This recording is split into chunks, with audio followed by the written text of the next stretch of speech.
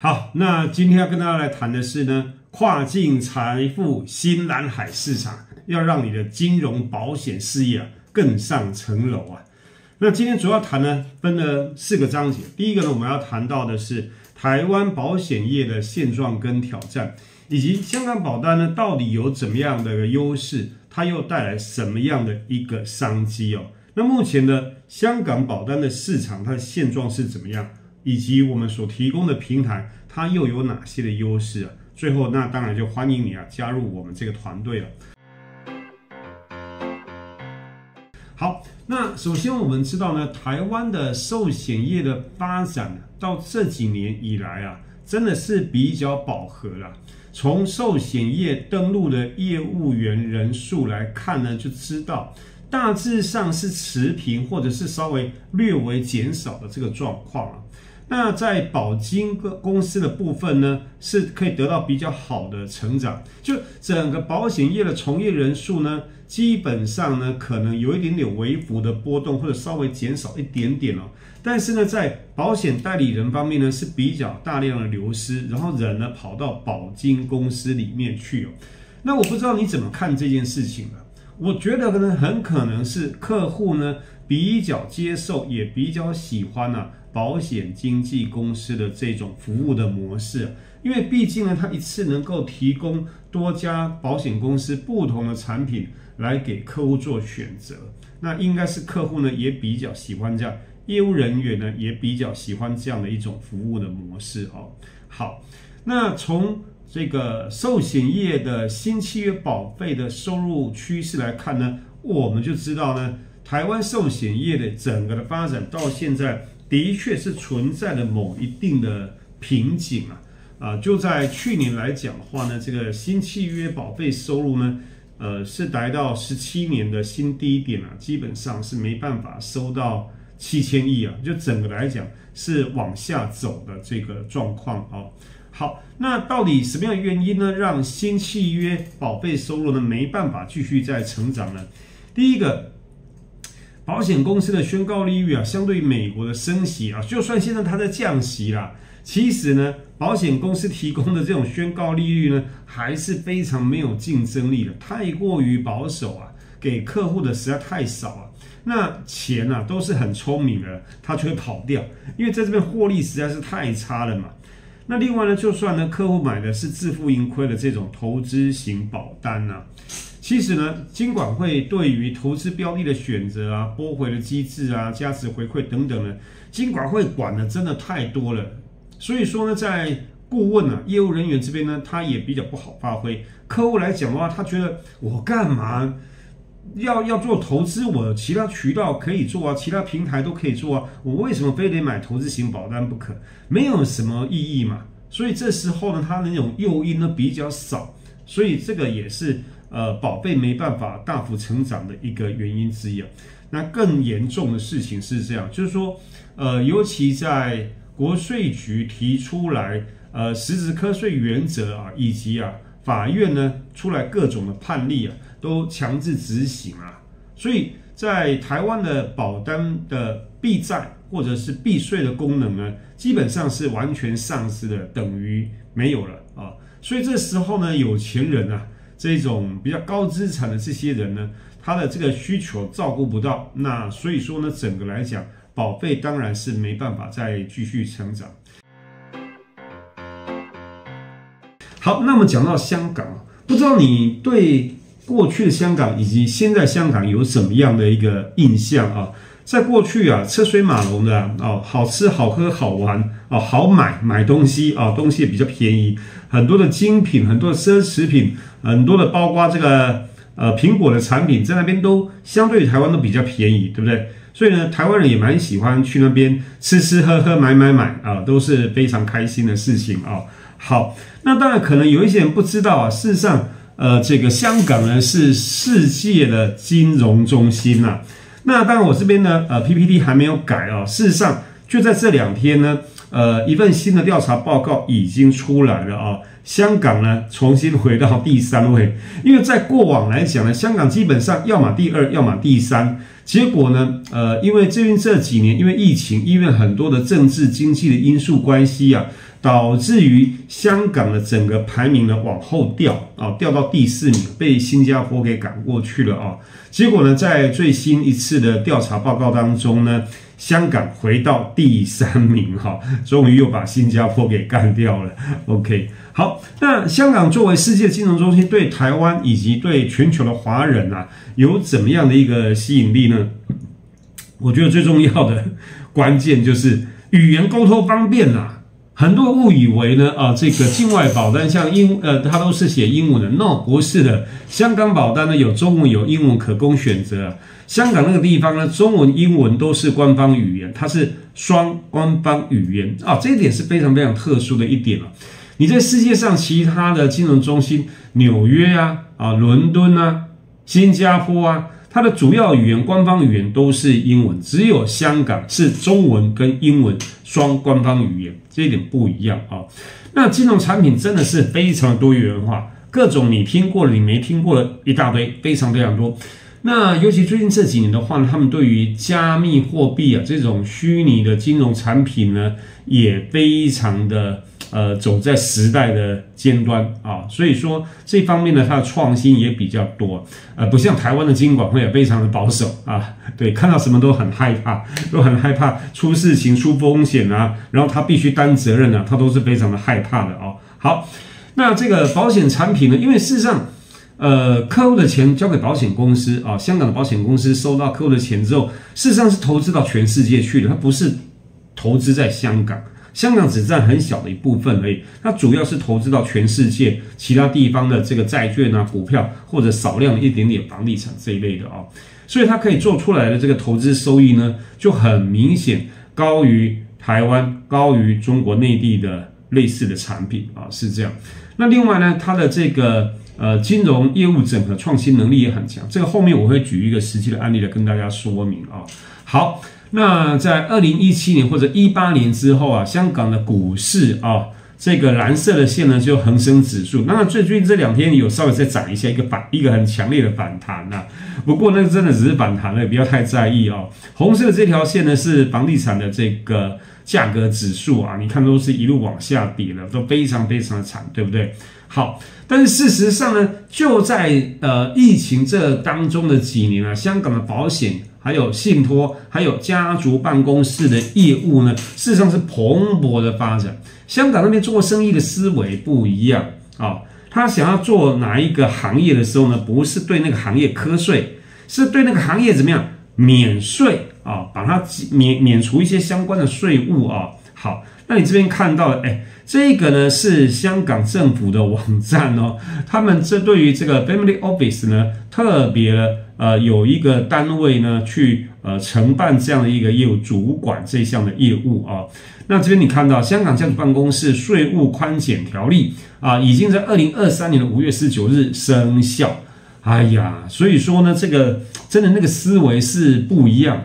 那这时候呢？呃，全世界各地的有钱人就会比较积极的考虑呢，是不是要把他家族里面的这个钱都弄到香港的地方去设立一个家族办公室来做相对的一个资产的管理哦。嗯，这个呢，事实上是非常非常吸金的，多吸金呐，多厉害呢！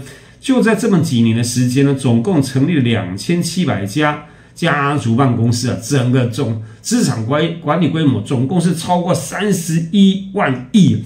也就是三十一兆啊港币，这吓死人了哦。那另外呢，有一万两千五百名以上的超高净值人士，哎，都是在那个地方做投资啊。哎呀，这个台湾呢也是在讲这个信托，也在做推广家族办公室。但是最基本的就是台湾有这个遗产税有赠与税嘛，那在这个税这个方面呢放不开的话呢，有钱人不会进来的，你拜托啊，遗产税赠与税动不动就几十趴了，十趴二十趴在算的话，你说它哪里划算了，是不是？OK，那另外呢，在金融行业来讲，银行、证券、保险，保险是三大基基支柱之一，对不对？那你看到二零一七年一直到。呃，这个二零二三年的香港的新契约保费收入，你看，哎，基本上虽然说有发生疫情，基本上还是相对比较平稳，对不对？啊，这边是一千五百亿，你看是不是只有两年疫情当中两年是掉到一千三百多亿啊，其他时候呢还是维持在一千五百亿以上，而且在二零二三年的时候呢，一千八百一十亿是创下这个历史的新高。啊，这个点呢是突破了之前疫情前二零一九年一千七百二十七亿的这个高点突破了，好，那甚至呢到今年的上半年。二零二四上半年一千一百五十九亿啊！天呐，这个又比去年更多啊！比去年上半年同期的这个新契约保费收入还要更高，所以看起来二零二四年的整年呢，应该又要创下历史的新高。我想呢，这个数字是会讲话的，钱呢比人还要聪明，还要老实，这个数据就反映出来，香港保险呢是非常具有竞争力的。否则这些钱不会跑到那个地方去啊，是这样子的一个状况哦。好，那我们呢仔细来研究一下啊，这个相关的保单哦。那因为保险呢，光只是这个人身保险的部分，我们知道有很多不一样的保单，对不对？好。那在投资的部分呢？因为台湾这边的投资平台很多，管道很多了。那这种自选标的、自负盈亏的，我们就不讨论。你没有必要跑到香港去买那边的投资型保单，完全没有必要，对不对？好，那另外呢，在保障跟储蓄方面呢，这两个功能，香港保单其实都赢过台湾保单，赢得非常非常的多。呃，那到底怎么赢呢？呃，后面呢我会详细的再讲啊。好。这边讲一下呢，香港跟台湾保单的主要差异到底在哪边呢？第一点当然就是保费便宜，保额高啊，对不对？今天如果说香港保单比台湾更贵，那我们还有什么好讨论的？没什么好讨论的，一点意思都没有，对不对？好，那第二点呢，它免体检额度高很多啊，啊，然后包括小朋友啊、未成年的可保额度呢，相对也是比较高。那可保年龄的话呢，台湾呢最小大概就是反正刚出生完，你你报了户口马上就可以买，是不是？但是香港保单里面呢很夸张的，夸张到多夸张呢？胎儿可以买，孕妇啊，她在怀孕之后，怀孕期间可以买一张保单，保她肚子里面的胎儿。万一不幸生下的胎儿呢有若干的先天性疾病的时候，这个马上就可以理赔。天哪，这个是不是很厉害？目前的台湾保单呢，我问过，目前是没有这样的。一个保障内容，它是做不到的啊。好，收益好，流动性高，后面我再详细说明啊。还有就是说，这几年啊，香港保单呢结合了很多信托或者类似信托的这种功能啊，功能非常强大，而且最重要还免费。哎呀，这个很重要啊。很多台湾的有钱人呢，你跟他讲信托，听听觉得哎，这个信托不错啊，的确很好啊。一讲到要收费，哎，他就不干了，他就不要。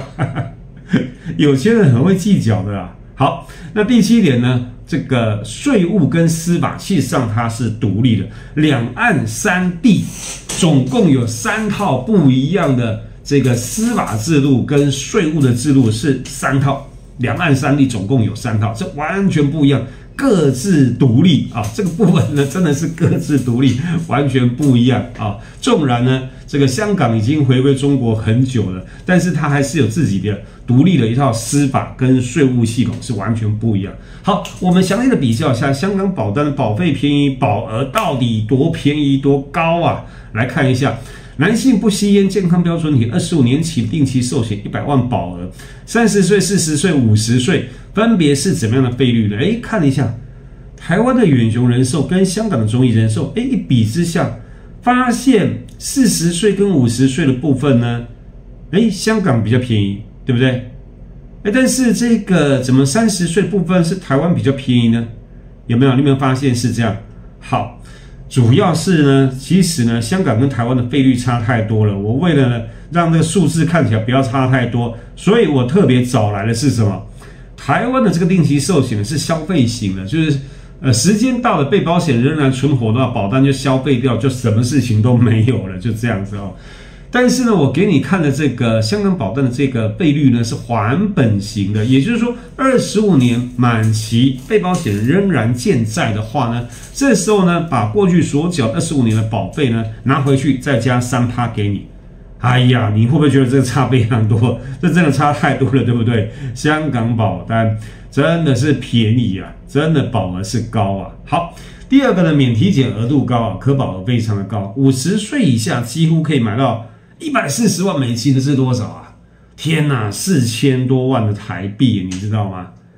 台湾哪里做得到啊？台湾能够给这么高的免体检额度吗？台湾的做不到，真的是做不到，从来没听说过，不可能啊！好，可保的年龄范围大，我刚刚讲过啊，甚至呢，呃，有一些险种可以做到八十岁、八十五岁的都有，都可以做到啊。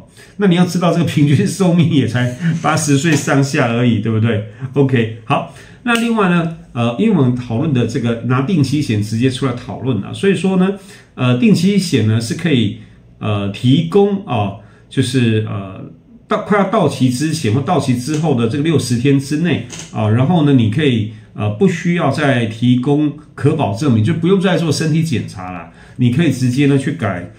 呃，买另外一个人寿产品，因为那时候也许身体已经不好了，对不对？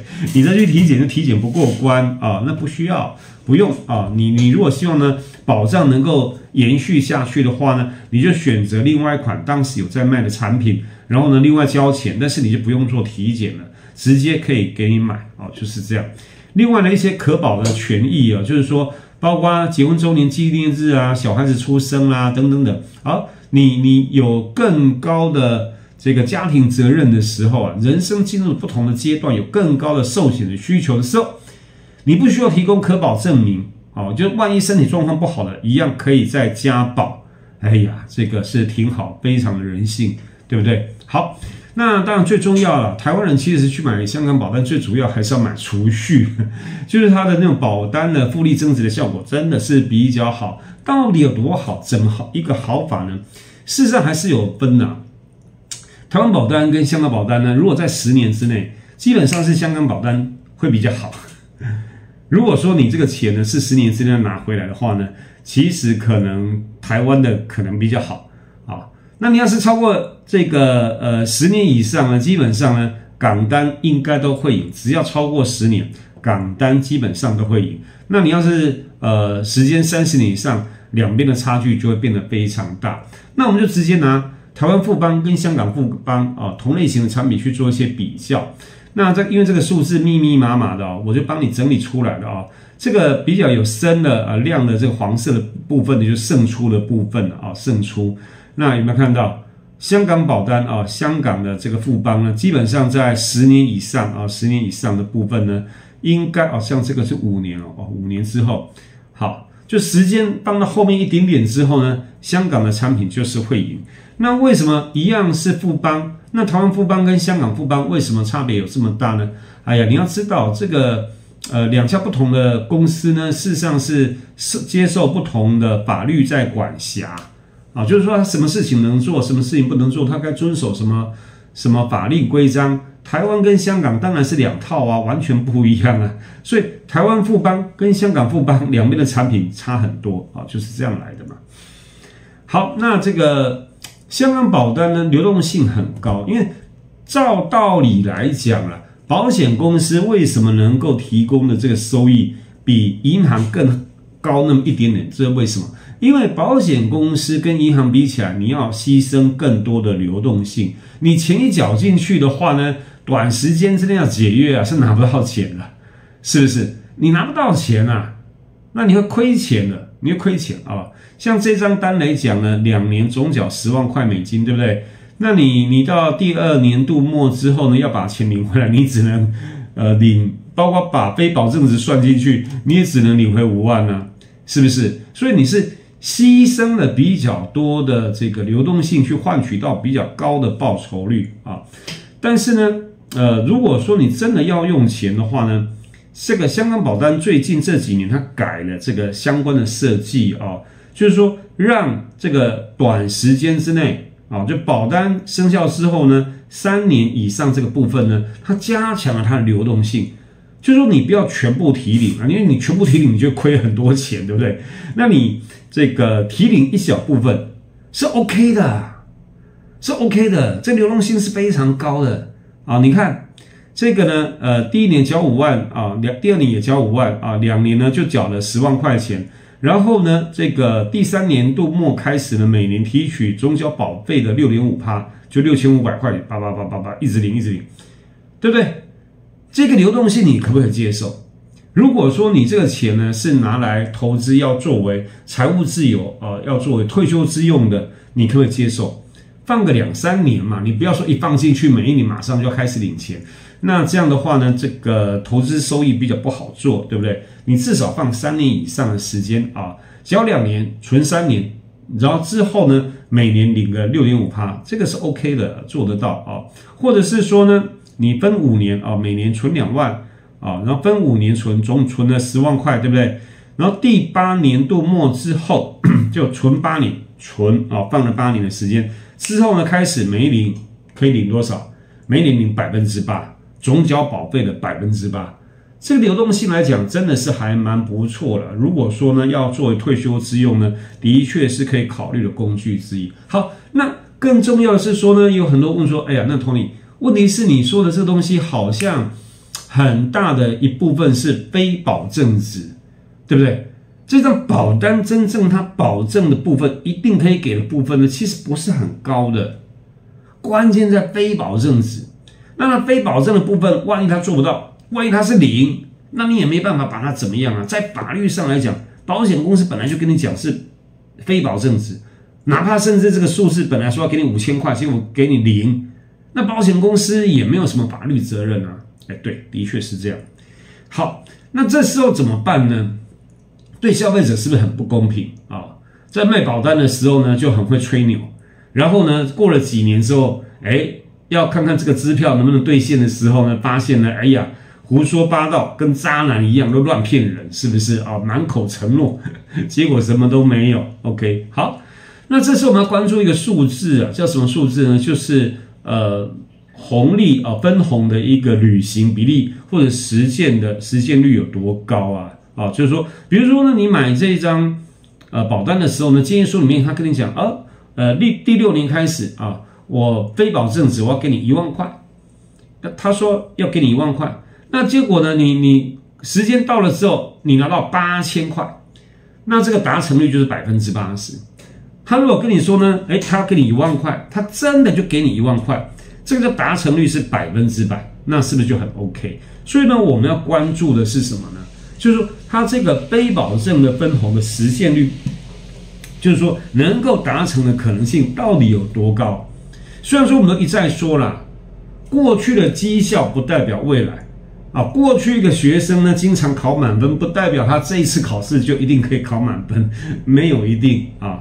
但是好学生啊，经常是好学生。啊，经常考满分的，他就会经常考满分。这个基本上呢，还是可供呃做一个参考之用嘛，对不对？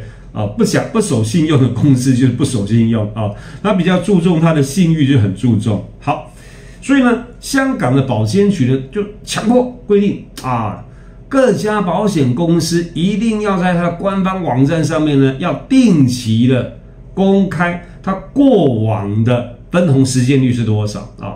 甚至呢，在这个香港保监局的网站上面呢，就有一张网页啊，专门呢把这个各家保险公司啊，它的官网里面啊披露这个分红实现率的这个网址啊，都链接都把它做上去了啊。每年它每年呃，保监局是要求每年至少更新一次了，那更新的时间呢，保险公司自己决定的啊。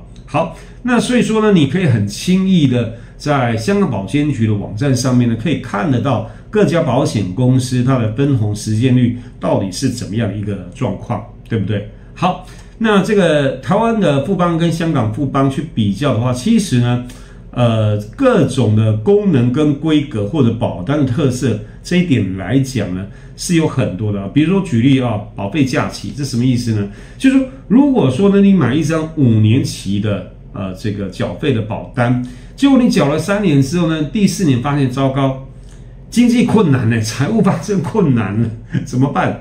缴不出来了怎么办？好，你如果是在发生在台湾，那怎么办？没办法，怎么办呢？如果说你之前的这个现金价值还够，那这时候呢，这个叫保单呃保费的一个垫缴。就是说保险公司呢会自动的把你从原有的保单里面现金价值借钱出来缴你第四年的保费啊，这是一种做法。那或者你没办法，你就只好暂时给它放着啦，是不是？啊，然后你拖了时间久了，就整张保单就完全失效，就完全失效。但是呢，这个香港的富邦啊，你买五年期的这种保单，你至少缴满三年之后呢，后面啊遇到经济困难，你可以跟他申请保费假期，就休息一段时间再缴啊。比如说我休息两年啊，休息两年，然后两年之后呢再继续缴，这样就行了啊。或者呢宽限期，宽限期一般来讲是给一个月。啊，就是说，比如说你一月一号啊是保单周年日，你照道理讲一月一号又要缴钱了，但是呢，呃，保险公司说呢，呃，没关系啊，你可以在一个月之内到期之后，一个月之内你缴交保费，这个都叫做准时缴交保费啊，他是这么说的啊。好，但是呢，你延长宽限期，就从原来一个月的宽限期延长成三个月的宽限期，哎呀，这个是不是不一样？对不对？好。那这个呃继任的或者被位的持有人，就是说保单的要保人呢，他可以指定另外一个人，就是说万一前面这个人啊不幸发生身故的时候呢，后面的这个人会继继承啊继承这张保单啊，直接就接收过来了，指定啊指定备位的这个持有人。另外更神奇的是呢，可以转换受保人。天哪！这是人寿保单呢，这是个人保单，这不是团体保单呢。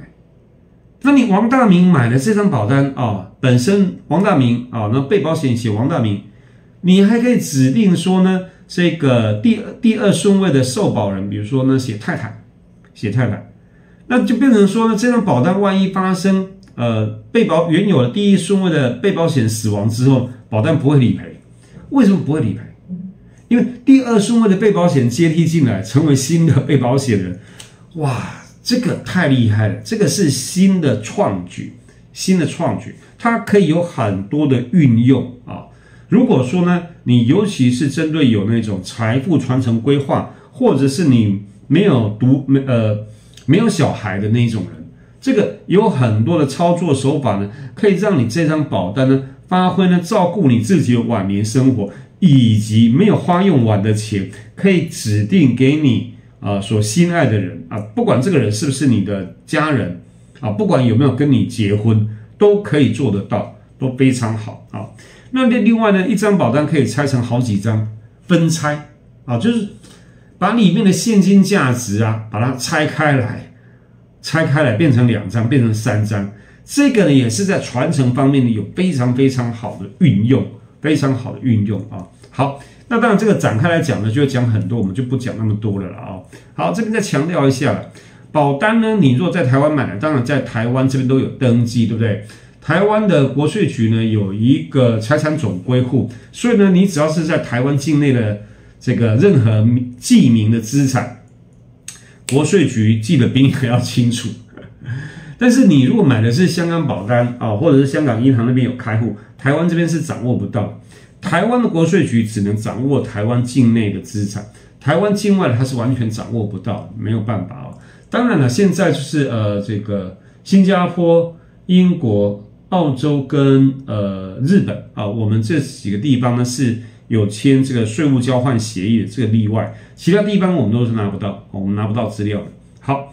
那保险理赔金给付，呃，这个相关的税金啊，当然有人跟我问说，哎呀，你这个香港保单算是境外保单，境外保单不得没有得到台湾的政府的承认，所以说呢，你这个死亡理赔金也没有税法上的任何优惠啊，那又怎么样呢？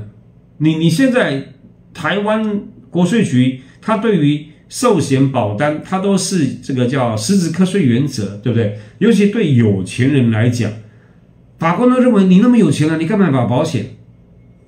保险原来它的用意就是要照顾，说万一啊家庭经济支柱提早离世的话，这个家庭会承受不了，是要来照顾这个家人的嘛？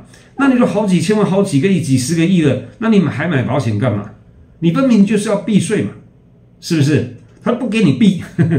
他就不给你避，对呀，没错啊，你资产一个亿以上的话，那挂掉就挂掉了。你小孩子继承，你不要跟我说这个财产一个亿，小孩还没办法读书啊，那老婆活不下去，没这回事嘛，是不是？对有钱人来讲就不是这样啊。所以呢，台湾保单在这个节税也好了，或者传承功能方面是完全上是没办法。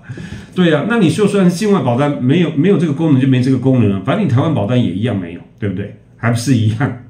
OK，好，那这边来讲呢，它有很多的功能可供使用啊，今天我就不展开讲了。总之啊，你要记住，就是说跟台湾的这个税务债务跟这这个是完全隔离的不一样啊，因为它是有比较高的隐秘性的。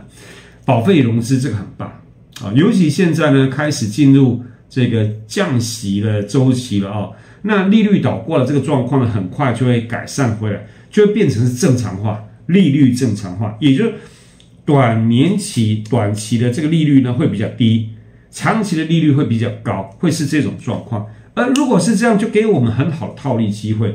怎么套利呢？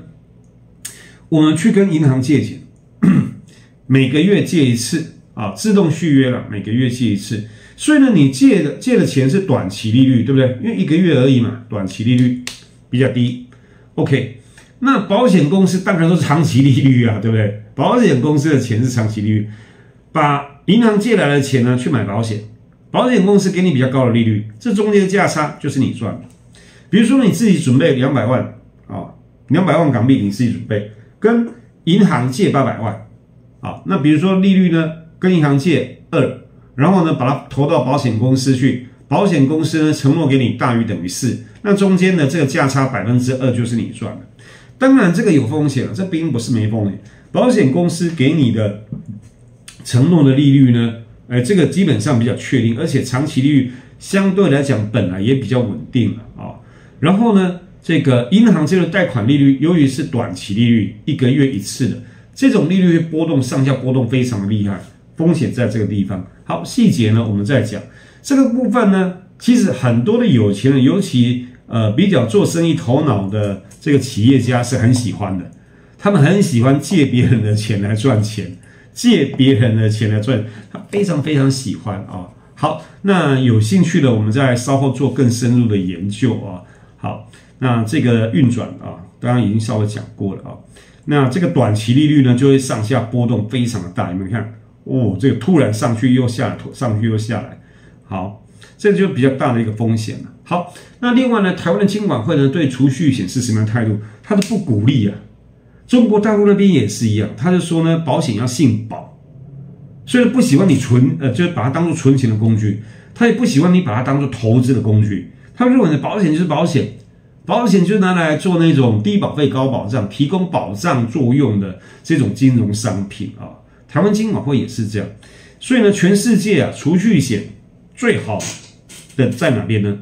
就是香港，没有了。欧美国家也不存钱呐，他们也没有什么储蓄险啊。欧美还有包括新加坡，都是要么就低保费高保障，要么就投资性质的保单，就这样子就没了。他没有那种叫做什么储蓄险，没，基本上不太发展这样的保单。啊，因为那种观念思维不一样，他所以他这个保险公司在设计保单的时候，他就不会设计这种保单出来。唯一例外就是香港，因为香港的保监局不会管这个事情，就是说你你要设计什么样的保单，那是你保险公司的事，他不过问，他管理的是呢你的这个。呃，财务啊，包包括该提拨的准备金啊，哦，各种的责任额啊等等，这些你要准备好啊。然后在销售的时候呢，要跟客户讲清楚啊，不要搞出一堆纠纷来啊，不要去骗客户，不要去误导客户，这样就行。那至于你要做什么样的保单，这个保监局不管这个，不一样。所以呢，这种储蓄保单呢，就是在香港才有，而且呢，做的蛮好的，因为亚洲人呢很喜欢存钱。啊，所以都跑到香港去买储蓄保单的。嗯，好，那你说这个境外保单，有人说，哎呀，境外保单是非法的、违法的，违法个头了，违法，太好笑了。台湾自己也在卖 OIU，OIU 是怎么样？这种保单是要卖给非台湾人，台湾自己也卖境外保单，然后他跟你讲说境外保单是非法的，那太好笑了，是不是？你把这种台湾的 OIU 保单卖给日本、卖给韩国、卖给中国大陆，你去注册了没有？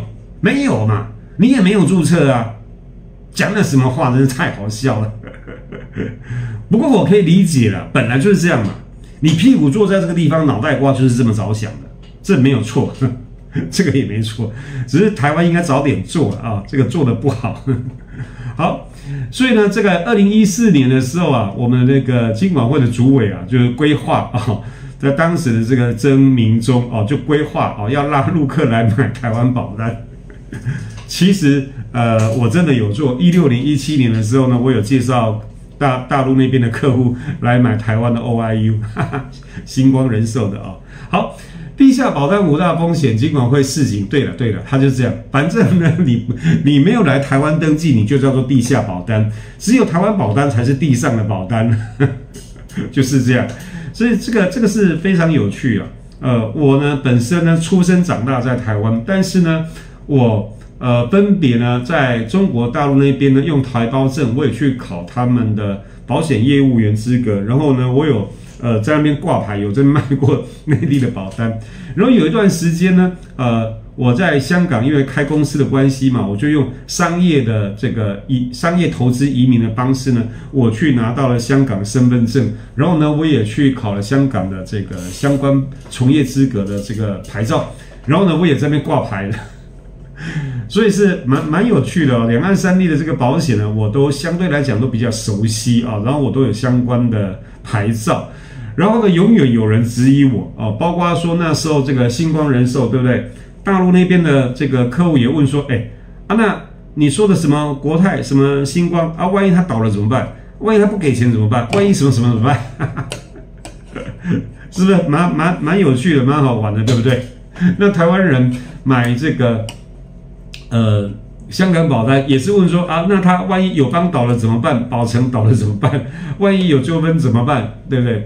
都都是这种问题哦，非常有有意思。”不过呢，我也遇到有一些人呢，非常有国际观呐，就是说他台湾人哦，然后呢，他跑去香港买美元保单，然后呢，有一段时间呢，那个人民币呢，就是贬值啊，贬值的比较厉害一点，应该在二零一五年那个时间吧。结果呢，我有一些台湾朋友，他们从台北坐飞机跑到深圳那边呢，就直接跑到人家银行里面就去问说，哎，你们有没有卖那个？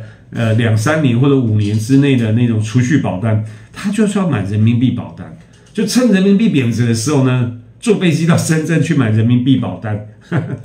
有国际观的人，他是全球布局的，他不会说我我只买台币的资产，他不会要把这个风险呢完全集中在台币资产上面。我觉得这个很正确。你今天作为一个台湾人，你主要的资产是在台湾以台币计价。你配置一些美金，这个再正常不过，这是很应该的事情嘛？这哪里有不对？香港那边呢，有一段时间呢，因为人民币的利率比香港的更高，结果呢，香港人跑到深圳去开户呢，去存人民币。你说这哪里有什么不对？这很正常嘛？你大陆那边的有钱人满手的人民币，全部都人民币，你去买点美金，这有什么不对？这很正常啊，这很应该啊，站在投资的角度，本来就是应该这么做，这哪里不对的？非常正确，非常正确。那你说金管会这样讲对不对？我觉得也对啊，本来就是这样子嘛，自己帮自己讲话嘛，对不对？老王卖瓜，自卖自夸，别人都不好，只有我的最好，这好像没什么不对。台关金管会就是这样子哦，蛮有意思的哦。好，那你看到什么地下保单检举啊？什么？哪里有什么检举？你拜托啊！这个都都是因为之前这个是比较多，大概在二零一四年之前，主要呢是因为呃，可能那时候有一些人做投资性质的保单呢，就买香港保单，买那个 saving plan，它基本上是呃基金投资的这种保单，那种保单纠纷容易多，放在哪边都是纠纷多了。你台湾这边也是一样比较多了，对不对？你台湾这边的医疗险、意外险、投资型保单的纠纷，一定会比这种储蓄保单多很多很多，包括台湾保单也是这样。那你今天如果说呢，台湾人跑到香港那边买的主要是买储蓄险，你就很难有纠纷，很难。储蓄险非常难，没有什么纠纷。储蓄险基本上也没有什么保障的性质，就是说，万一被保险挂掉，理赔金并不多，这种状况没有什么纠纷的。这种要纠纷就很难。好，台湾这边呢，无论如何呢，是民主国家，享有言论自由啊，哦，但是呢，毕竟法律规定不可以销售，那当然我们不能销。事实上，我们也没办法销售啊，因为我们也没有香港的工作签证啊，然后也没有香港的牌照啊，是不是？那香港那边呢？呃，保监局他也要求呢，你你卖香港保单，你也要通过相关的考试，你也要去那边登记成为持牌人啊，他们叫持牌人。对呀，我我我们一般的台湾人当然不具备这样的资格，所以是没办法去卖，你不能卖这个境外保单，不可以啊。不管就香港的法律来讲，也是不允许；就台湾的法律来讲，它也是不允许，所以这是不行的。但是呢，我们这边研究这边讨论行不行？可以嘛，对不对？我们可以讨论香港保单嘛？我们可以讨论台湾保单、台湾的税法、家族办公室等等，但是我们不能销售，不能销售啊！这个要遵守相关的法律啊。好，那香港保单的市场发展现现况，二零一一年呢，台湾立法禁止销售境外保单，对，呃，然后二零一四年啊，香港那边停售非常热卖的幺零幺投资型保单。一五年呢开始呢，那俊生啊，英式分通保单热卖。一五年八月，香港开呃，充裕未来啊，友邦推出充裕未来啊，然后之后二零二零年疫情之后，香港保单在财富传承跟资产保全方面的功能有非常大的突破跟创新了哦，真的是不一样，差很多。好，那因为呃，这支影片主要是给呃金融保险从业人员来参考的哦。那这个是一个蓝海市场，有很大的商机在里面啊，包括帮助客户呢财务自由。因为客户买的如果是台湾的保单的话呢，这种复利的效果蛮差的啊，两趴跟四五趴那差很多诶。所以说，如果说啦要追求财务自由的话，你你说做台铁的自强号跟坐高铁，那当然是不一样嘛。一个呢？利率就大概二二点多，一个呢最少四五六，那逼近七，这怎么比呀？这当然不一样。你要追求财务自由，你当然利息稍微高点，当然是好事，对不对？啊，所以做过一定的保单见证之后呢，就发现呢，呃，有一些比较老旧的保单，那不一定了，有一些利率也比较高，有一些利率真的就很差啊，那可以考虑呢，是不是呃可以改来把那些预算呢，哦拿来改。投到这个香港保单上面去啊，那还有可以利用它的这个信托功能呢，哦，然后来防止这个子孙败家，呃，包括自己呢老年痴呆被骗，这个都有很好的作用。因为香港保单有这个免费的类信托功能，非常好用啊，在传承方面，那要员保险就 Keyman Insurance，或者是这个给董事长、总理、总经理重要的员工干部啊，给他们退休金，对不对？啊，那这个呃，关于相关的规划呢，我们在内部的相关课程呢有另外的规划啊。如果说有进一步兴趣的话呢，那就欢迎加入我们这个联盟顾问。